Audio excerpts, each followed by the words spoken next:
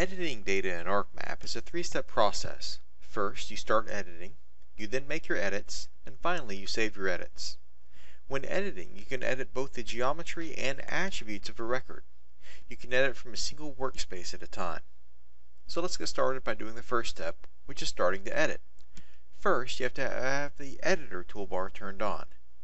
To do that, you click the Customize Toolbars and make sure Editor is selected. The other option is to right click on any existing toolbar and once again make sure Editor is selected. Here is the Editor toolbar. To start editing, click Editor, Start Editing. If you have multiple workspaces open at once, you'll be prompted to choose which workspace to edit in. Since everything is inside of one workspace or one geodatabase here, it doesn't prompt me. Now that I've started editing, I can make my edits. I can create new features using the Create Features tab or window, depending on if it's docked. To show the Create Features tab or window, on the Editor toolbar, click Editor, Editing Windows, Create Features. And that creates this tab here. All the features I'm currently editing will show up listed here, along with all the templates. To create a new feature, I click on the template I want to use, and I can either left click to create the feature, and if I'm creating a polygon or a line, I click multiple vertices, and when I'm done, I just right click and choose Finish Sketch.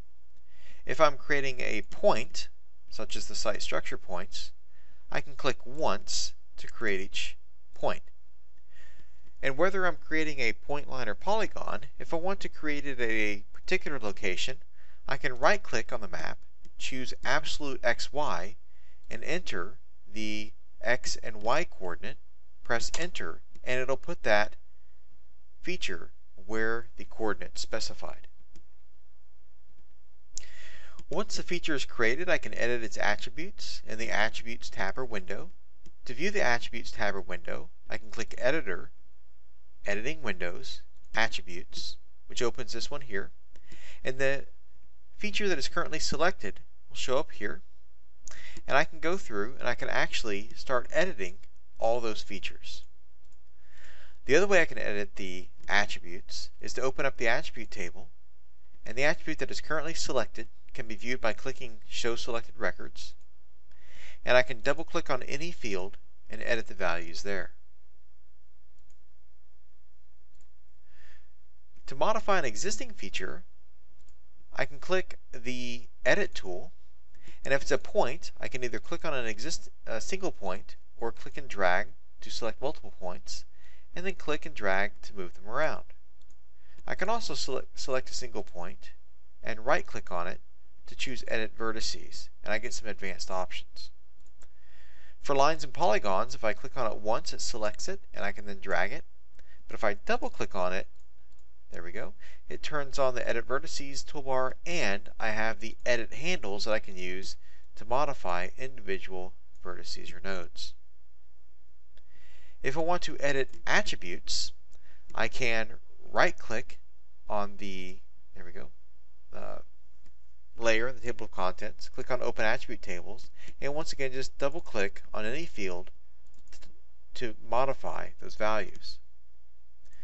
To delete features, I can either, using the Edit tool, select the feature or features and click the Delete button on my keyboard, or I can op open the Attribute table,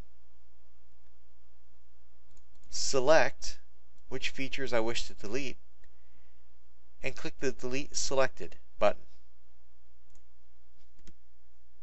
To save my edits, I click Editor, Save Edits, to stop editing, I click Editor, Stop Editing, and if I have any unchanged or unsaved edits, it'll prompt me to see if I want to save them.